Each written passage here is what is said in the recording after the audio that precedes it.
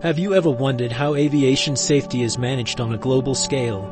To understand this, we need to look at the International Civil Aviation Organization, or ICAO. This body is responsible for developing international standards and regulations to ensure the safety and efficiency of air travel worldwide. One of their most significant contributions to aviation safety is Annex 19. But what exactly is this Annex 19? It's a dedicated document focusing on safety management within the aviation industry. By consolidating safety management provisions from six other annexes, Annex 19 provides a comprehensive and unified approach to enhance safety in aviation. It lays down the responsibilities of states and aviation organizations, outlining the critical elements of a state's safety oversight system.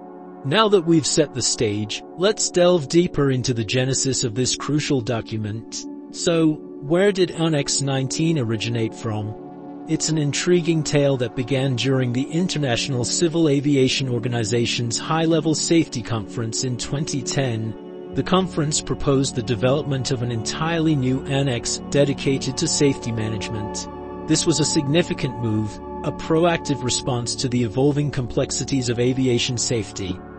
Fast forward a bit, and we find the first edition of Annex 19 becoming applicable on the 14th of November, 2013. This edition consolidated existing safety management provisions from six other annexes, a step towards unifying and strengthening aviation safety. But the evolution of Annex 19 didn't stop there. On the 2nd of March 2016, Amendment 1 was adopted. This led to the publication of the second edition on the 11th of July 2016. This edition introduced new and amended standards and recommended practices, extending the safety management system applicability to organizations responsible for engine and propeller design. With its roots firmly established, Annex 19 grew to incorporate key components that we'll discuss next. What exactly does Annex 19 entail? Let's delve into the heart of this document and explore its key components. At the core of Annex 19 lie the four components of the State Safety Program, or SSP. These components are State Safety Policy and Objectives, State Safety Risk Management, State Safety Assurance, and State Safety Promotion. Each of these components plays a vital role in a comprehensive approach to aviation safety. Now let's move to the Safety Management System, or SMS. This is a systematic approach to managing safety, and it includes four key elements, safety policy and objectives, safety risk management, safety assurance, and safety promotion. So in essence, the SMS is a microcosm of the SSP, but it's applied within individual aviation organizations. These components are not just theoretical constructs, they are practical tools that guide aviation safety on a daily basis. They help to identify hazards, assess risk, and implement effective measures to mitigate those risks. Understanding these components underscores the importance of safety management in aviation. Why is safety management so vital in aviation? Let's dive into it. At its core, safety management is about preserving life and property. In the aviation world, this translates to protecting passengers, crew, aircraft, and infrastructure. It's about identifying potential hazards and mitigating risks before they result in actual harm. Consider the example of bird strikes. By analyzing data on bird populations, migration patterns, and airport environments, aviation authorities can proactively manage this risk.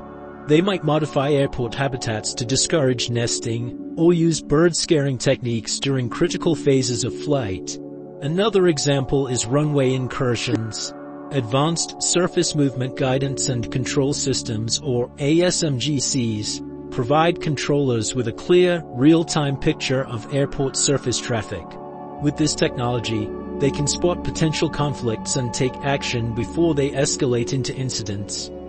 We can't predict every possible scenario, but with a robust safety management system, we can anticipate many risks and act to prevent them. Safety management, as we've seen, is a proactive measure, but just like any system, it needs updates and improvements. How has Annex 19 evolved over time? Well, let's delve into the updates and amendments that have shaped its journey.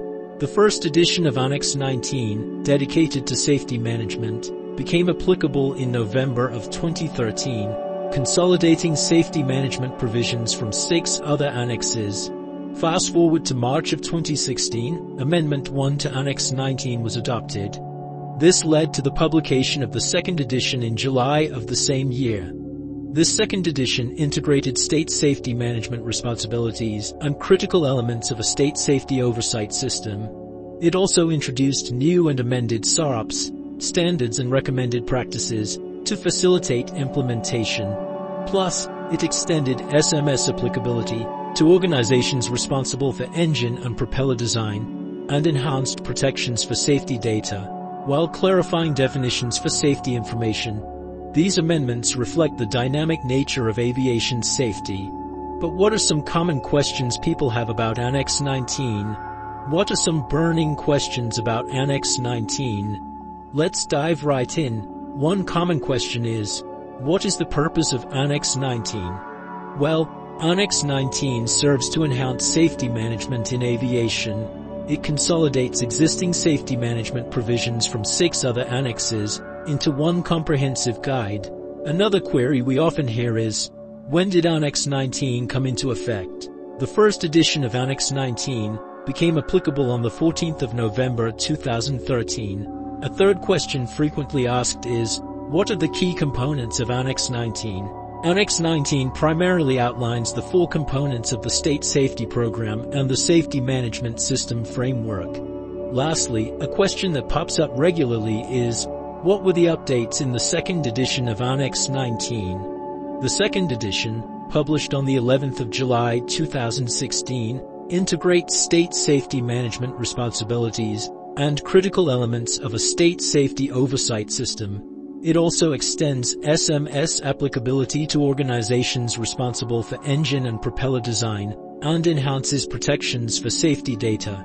Having answered these FAQs, it's clear that Annex 19 has a global impact. How does Annex 19 shape the international aviation landscape? A question that leads us to the heart of Annex 19's global impact.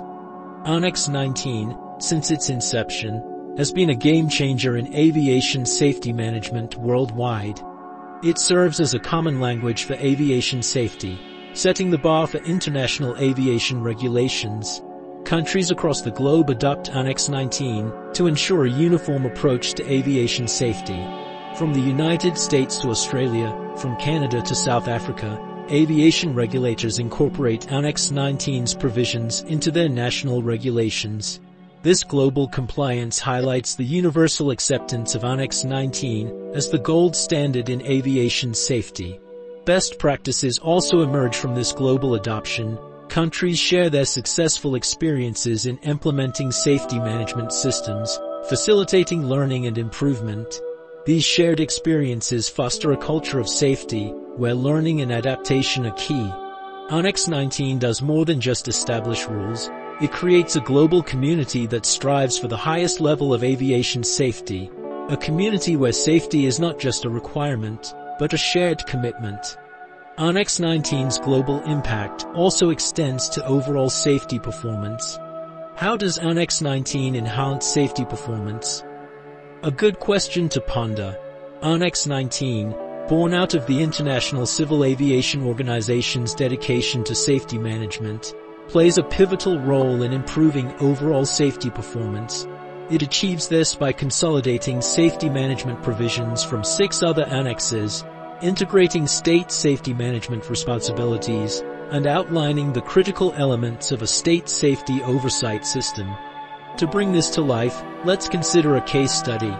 Imagine a world without Annex 19, where safety provisions are scattered across various documents, and there's no consolidated approach to safety management. This fragmentation could potentially lead to overlooked safety protocols, resulting in a higher risk of incidents. However, with Annex 19 in place, aviation organizations have a clear, comprehensive guide to safety management. This has resulted in a more proactive approach to identifying and mitigating risks, ultimately leading to fewer incidents and an increased level of safety in aviation. This is a testament to the power of Annex 19. But it's important to remember, safety performance however, is not static. It evolves with time and technology. Why are regular updates to Annex 19 necessary, you may ask? Well, the world of aviation is not static. It's a dynamic industry, continually evolving with advancements in technology and new understanding of safety challenges. From more efficient engines to cutting-edge navigation systems, the technological landscape is constantly changing, and with these changes come new safety considerations. Just as we wouldn't use a century-old aviation map to navigate today's skies, we can't rely on outdated safety standards to govern an industry that's always on the move. Each update to Annex 19 is a response to these shifts, ensuring that the regulations remain relevant and effective. But it's not just about technology. Updates also reflect our growing understanding of human factors in aviation safety. As we learn more about the role of mental health, fatigue and other human elements in aviation incidents, Annex 19 needs to adapt. Emerging safety challenges, such as the integration of unmanned aerial vehicles into airspace, also necessitate regular updates. It's a constant process of learning, adapting and improving. As we've seen, Annex 19 is a living document, continually evolving to meet new challenges. What have we learned about Annex 19? We've delved into its origins, sparked by the High-Level Safety Conference in 2010. We've dissected its core components, namely the State Safety Program and the Safety Management System Framework. We've underscored its critical role in enhancing aviation safety and how it encourages proactive risk management. We've studied its recent amendments and their impact on the aviation industry. We've addressed frequently asked questions and explored its global influence. We've also analyzed its role in improving overall safety performance and the necessity of regular updates given the rapid evolution of aviation technology. If you're eager to delve deeper into Annex 19, there are numerous resources available. For starters, the ICAO's official website is a treasure trove of information. Skybrary, an online aviation safety encyclopedia, is another excellent resource. We hope this video has offered valuable insights into Annex 19 and its pivotal role in aviation safety. Until next time, fly safe.